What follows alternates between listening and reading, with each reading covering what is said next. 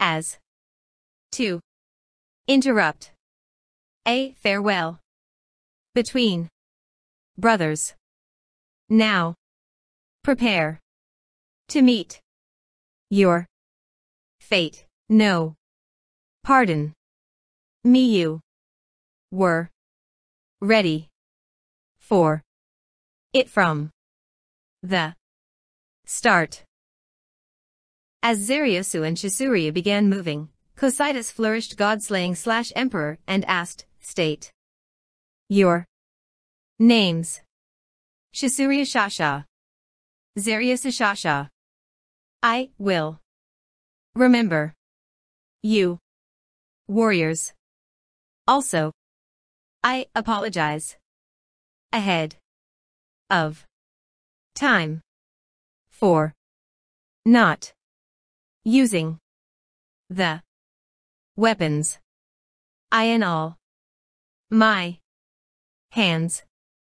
It island. Not that I wish to scorn you but you are simply not strong enough to warrant their use.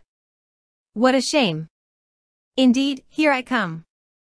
Diamond suit, diamond suit, diamond suit, the two of them lunged at Cocytus, splashing across the marsh. The uncoordinated timing of their attacks baffled Cocytus. The two of them did not enter his range at the same time. Shasryu was the first to do so. Sensing a scheme, Cocytus awaited their next move. Since Shasryu was the first to enter his strike zone, Cocytus carefully studied Shasryu's next move. Shasryu stopped just before Cocytus could reach him and earthbind. And cast a spell. Countless chains formed of mud leapt at Cocytus, and Zaryusu broke into a wild sprint. He had even hidden frost pain behind his back so his opponent would not be able to gauge his attack range. Shasryu's declaration that I'm almost out of mana was merely a ruse to deceive Cocytus. If he had taken the bait, perhaps he might have been bound by the mystic chains and been hit by Zaryusu's charge from behind. However tough their opponent's exoskeleton was, he should still be able to break through if he poured all his strength into the edge. With that in mind, Zaryusu had abandoned defense to focus on the attack, and the resulting strike should have been quite strong. He seems quite confident in his sword. Cocytus could understand how he felt, because much like him, Cocytus felt strongly about the weapons he owned. In particular, the sword he now wielded, which had once been used by his creator, was especially significant to him. Therefore, despite how lopsided it would make the battle, Cocytus insisted on doing battle with god-slaying slash emperor in hand as a sign of his supreme respect. However, they had made a miscalculation, which was that their opponent was Cocytus, guardian of the fifth floor of the great underground tomb of Nazarick. My defenses cannot be breached by someone whose level island below Mine. The chains of mud rebounded off Cocytus an instant before they reached him, reverting to regular dirt and sinking back into the mire. Low-tier spells could not pierce Cocytus's magical defenses. Icy burst. As the shout rang out, a vortex of ivory fog swirled out and surrounded Cocytus. A futile effort. Cocytus was immune to cold damage, so as the gentle breeze of the supercooled mist blew around him, he patiently waited for Zaryusu and Shasryu to enter his attack range. Soon enough, the moment he had been waiting for arrived. However, Cocytus hesitated briefly. He thought, can my foe be stopped just by cutting off his head? In the face of Zaryusu's full attack, Cocytus did not think that mere decapitation would stop his advance. The mental image of a headless body rushing him appeared in his mind. In that case, he ought to chop his hands off first, and then his head. No, that wouldn't be clean enough. Best to finish him off in one stroke. Zaryusu charged with all his strength, devoting every fiber of his being to the attack, but he was still too slow for Cocytus. A black shadow appeared amidst the white mist, Zaryusu thrust his sword, and Cocytus caught it lightly between his fingers, like before. Cocytus did not feel any cold from his fingertips. Perhaps Zaryusu knew that Cocytus was immune to the cold, and did not use the ability. The charge was fast, but he had blocked it so easily. That puzzled Cocytus. However, those doubts faded in an instant.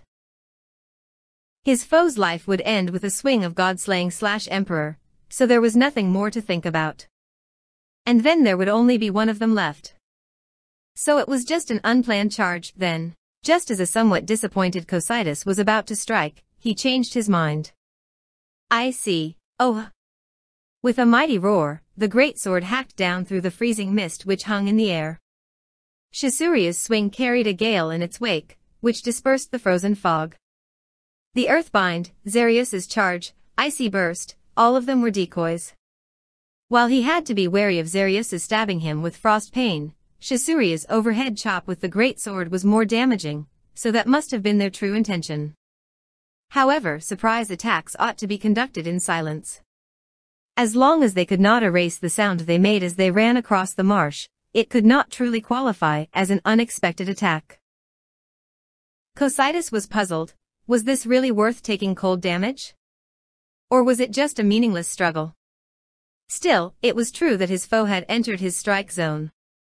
Now that Zaryusu's weapon was within his grasp, there was nothing to fear from him. Only the order in which they died would change.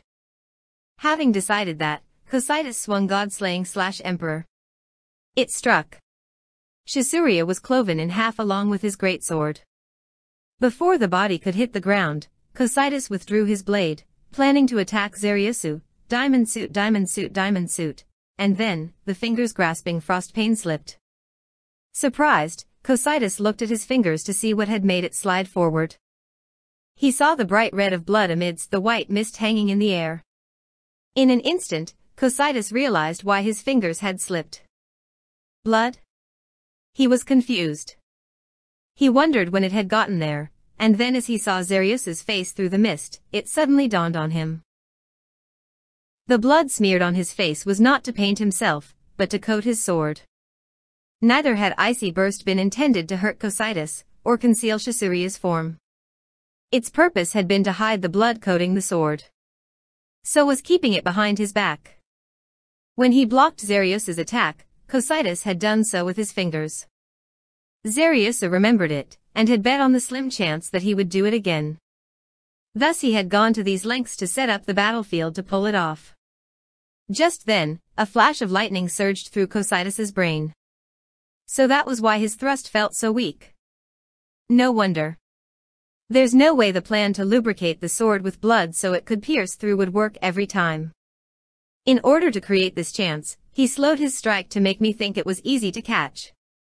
The blade slowly slid over, inching towards Cocytus's pale blue body. Now that Zaryusu had thrown his full strength and even body weight into the thrust, not even Cocytus could stop it not with two blood-stained fingers. If he had grasped it further away from him, there might be something else he could do. But at this short range, he was out of options. Cocytus was so moved that he trembled. While it had relied on a bit of luck, this was an attack which had required multiple gambles, each of which had paid off. The most important thing was that without Shasryu, none of this would have been possible. Shasryu should not have understood Zaryusu's gambit, but as an elder brother, he had placed all his trust in his younger brother, to the point of sacrificing his own life. That pointless surprise attack and shouting were all to divert Cocytus's attention from his brother for just a moment. A single moment. And for just a single moment, as Zaryusu was forcing frost pain at him with all his might, Cocytus's mandibles trembled. Truly. Marvelous, and so the blade struck Cocytus's body, only to deflect lightly off. His body, which glowed a faint blue, did not have so much as a scratch on it. This was the result of the impassable gulf that separated the highest-level NPCs of Nazarick from mere lizard men. Forgive me but I possess a skill which briefly negates weakly enchanted weapon attacks once. I activate. It your. Attack. Island. Useless. That blow had been well struck, and Cocytus felt that leaving a scar as a mark of respect for these warriors would be appropriate. However, he was under the eyes of a supreme being, and he could not do so in his position as a guardian. Cocytus deliberately took one step back, splashing up the mud and staining his beautiful blue body. It was just a single step. There was no meaning to it. Backing up would not have made any difference to him. Zaryusu would still die, and Cocytus would still win. However, that step back was a sign of praise from the strong, Cocytus, to the weak, Zaryusu. Zaryusu smiled, in the way someone did when he knew full well what sort of fate was in store for him, yet ran towards it anyway. As he did, Cocytus swung his sword down. Part 3 That was a spectacular battle, Ainz said in praise to Cocytus, who was kneeling before him. Thank you. However, I trust you understand that while we, we used the stick this time, you must employ the carrot in the future. You are not to rule them through fear. I understand. After Ainz nodded, he looked to the other guardians in the room. Very good. Now then, listen well, you guardians. Like I said earlier in the throne room, Cocytus will administer the Lizardman village. If he needs help, I hope you will give it to him. Cocytus, I hope you will foster a deeply rooted loyalty to Nazarick in the Lizardmen. I also hope that you will cultivate the growth of talented members of their species. I will leave these tasks to you. If you need Wings of Ascension or other special items, let me know. I will also lend you a powered suit for the time being. Players could change their character races in Yggdrasil, but that did not imply that one could freely change race. Some requirements had to be met for the change, and the changes were irreversible. Part of the requirements were items. Someone who wanted to become an Elder Lich would need a Book of the Dead. Someone who wanted to become an imp would need a fallen seed. The angel wing item which Ainz had mentioned was used for becoming an angel. Ainz had mentioned it because he thought that it might be possible to change races in that manner. I shall count on you when the time comes. Ainz Sama. May. I know how you wish to deal with those lizard men? Those lizard men? Yes. The ones called Zaryusu and Shasryu. The two who fought to the end. Their corpses should still be in the marsh. However, why did he bring them up? Hmm. Recover their corpses and use them for raw materials, when I'm not making undead with my skills. That would be a bit of a waste. Oh. Why is that? Are they that valuable? Ainz had watched the battle through the mirror of remote viewing and saw an overwhelming victory. Nothing about them recommended themselves to his eye. They might be weak. However, I saw their fearless warrior spirit turning them into raw materials. Island, a bit of a waste. I feel that they could become stronger. Perhaps even exceeding our expectations. Ainz Sama. I believe you have not yet conducted any practical experiments with resurrecting the dead. Could you not do so with them? Does he like those lizard men? In all honesty, Ainz did not feel anything when he heard things like warrior spirit. He had heard of terms like killing intent in manga and light novels, but he thought nothing of them. It was kind of like how Narberal responded with, ah, so that's what it is, oh and so on while he was lecturing her. Similarly, Ainz had no idea what this warrior's empathy business was about. That was because Ainz had originally been a normal salaryman, despite his current state. An average citizen who actually knew about a warrior's spirit, or killing intent, would probably be considered dangerous. Now, he could understand something like a bureaucrat's spirit instead. I see, so it would be a shame then? However, when Ainz heard about Cocytus's approval of the lizard men, his true thoughts were, well, you might call it a shame, but I have no idea what that means. Still, when he thought about it, Cocytus's words made a lot of sense. He had wanted to find a place to experiment with resurrection anyway, and Ainz felt that using them for those experiments would be very beneficial. In addition, unlike how Cocytus had been waffling around in the throne room, he had now proposed a useful solution for them. If that was a sign of improvement, then he had passed with flying colors. He paused briefly to think, and then Ainz thought of his other exceptional subordinates. He thought of them as they stood around him, in a suitably subservient posture, silent and unmoving. Albedo, what is your opinion? It would be the same as yours, Ainz Sama. What do you think, Demiurge?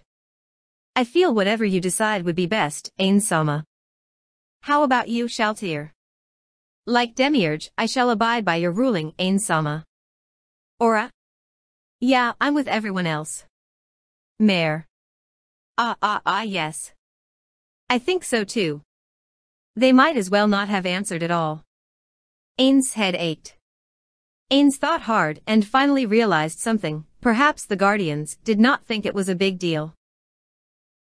In other words, no matter how he decided, they did not feel there would be any major benefits or drawbacks. Of course, he had to consider their respective situations. Sometimes, problems might arise due to their varying circumstances. Simply put, when a rich person said, oh, that sum's not a problem, one would immediately doubt the truth of those words. In other words, it was the result of differing values and priorities. I wasted my time asking still, that means resurrecting the lizard men should be fine, right? I was planning to think carefully on this, because I've made too many mistakes recently. With no recourse, Ainz had to ponder the merits and demerits of the situation by himself. We have decided to subordinate the Lizard Man village to our rule, but is there a suitable candidate for leader? Do they have a group that manages the entire village? No, but there is a person who is suitable to be the village's representative. Oh? Who is that? It Island, the. White. Lizard Man. Who. Did not. Take. Part. I in the. Fighting. She. Appears. To. Have. Druidic. Powers. Her then? HM, well, that is workable. She should be worth using, Ainz thought.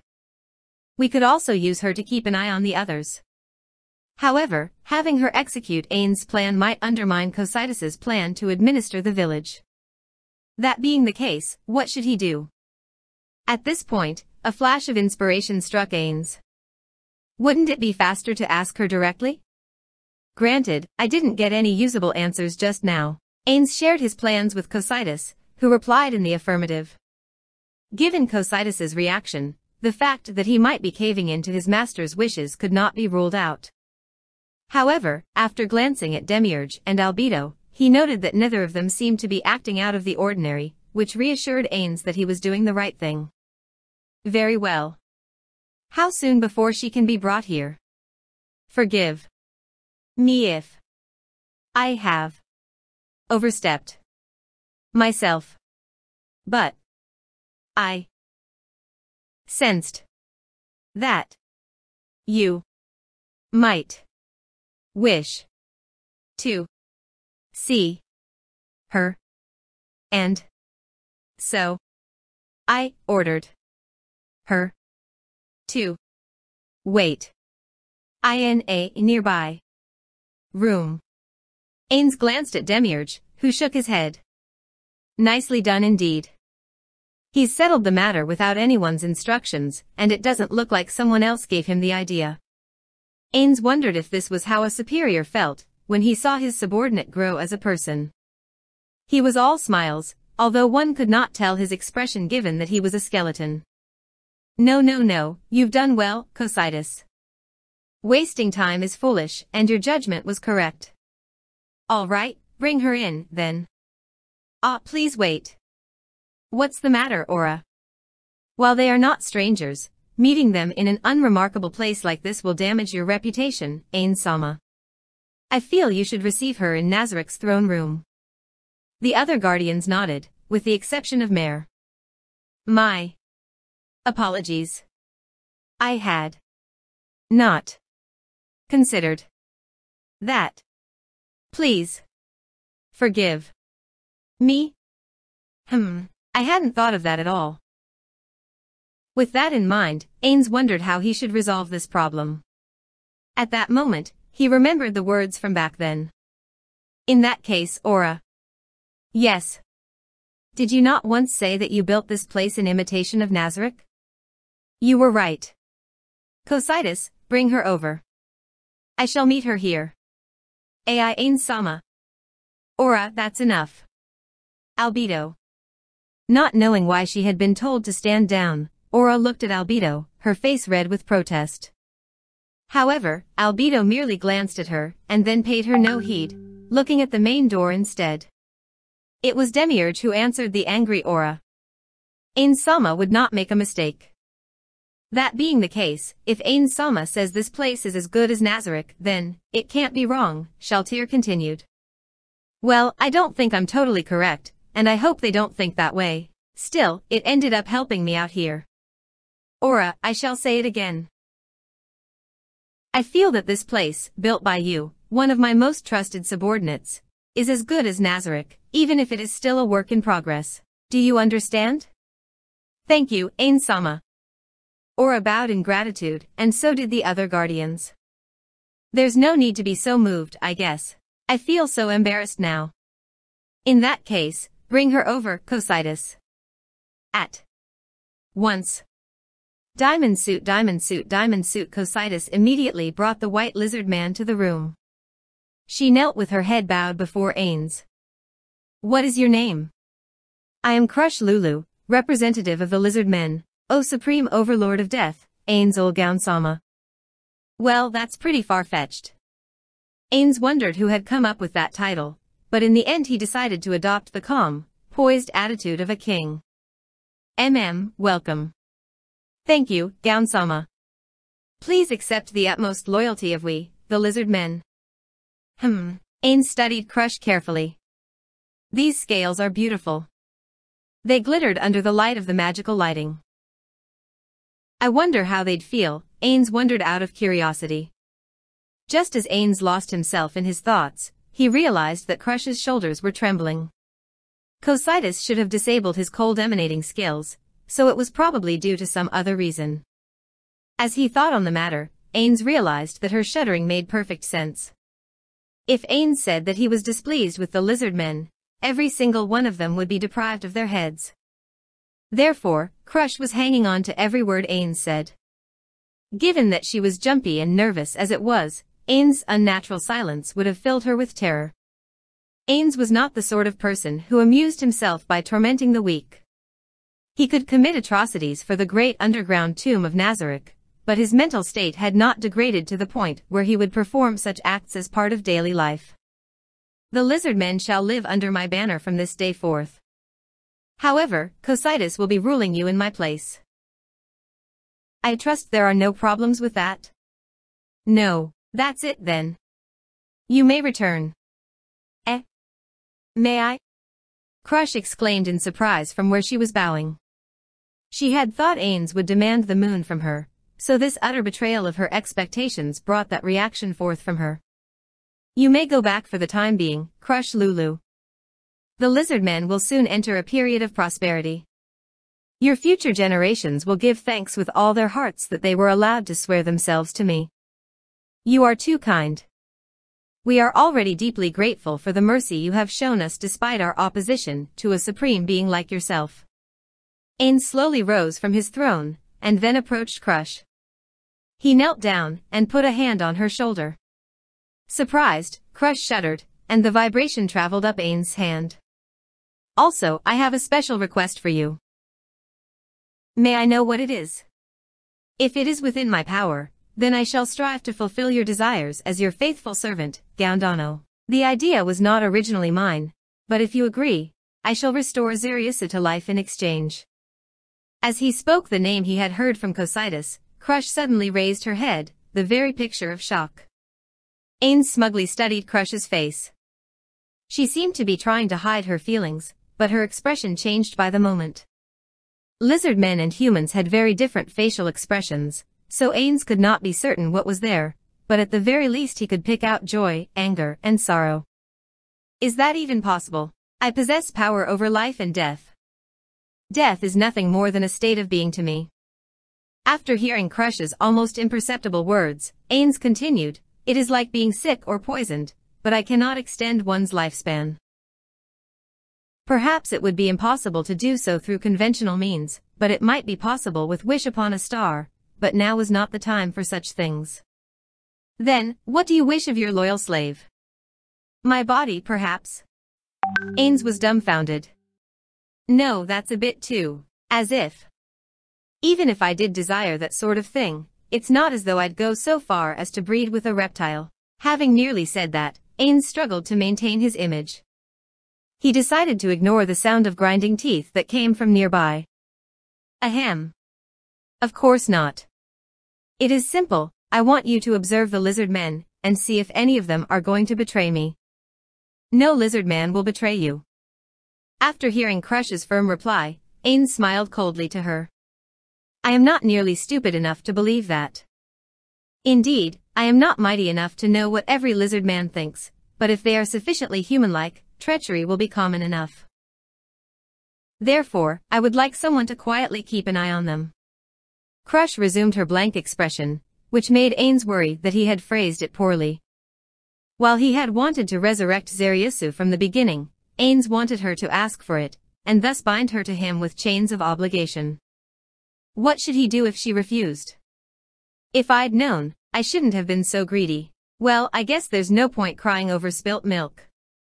A miracle hangs before you right now, but it will not last forever. If you do not seize the moment, it will be gone forever. Crusch's face seemed to be twitching. It is not as though I am going to conduct some horrific ceremony.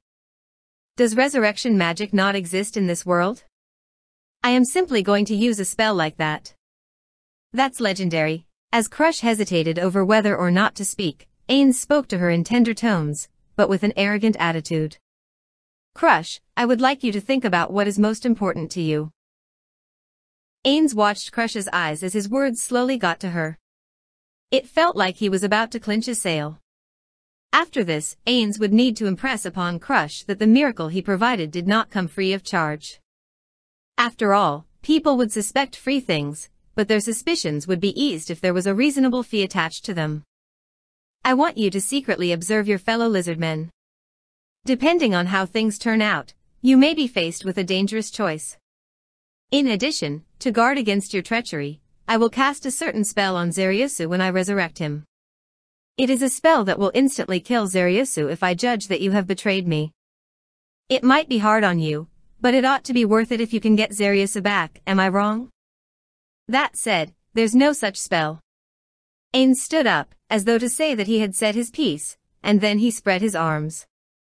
Crusch looked at Ainz with a tormented expression in her eyes. Ah yes, when Zaryusu is resurrected, I will tell him that he was recalled to life because he was useful to me. I can guarantee that your name will not come up. Well then, Crusch Lulu, make your choice. This is the last chance you have to return your beloved Zaryusu to your side. What will you do? Will you seize this opportunity, or abandon it? Decide. Ainz slowly extended a hand to Crusch as he looked to the Guardians and said, if she refuses, None of you are to do anything. Well then, Crusch Lulu, what is your answer? Clone. New paste. Few persons can be made to believe that it is not quite an easy thing to invent a method of secret writing which shall baffle investigation. Yet it may be roundly asserted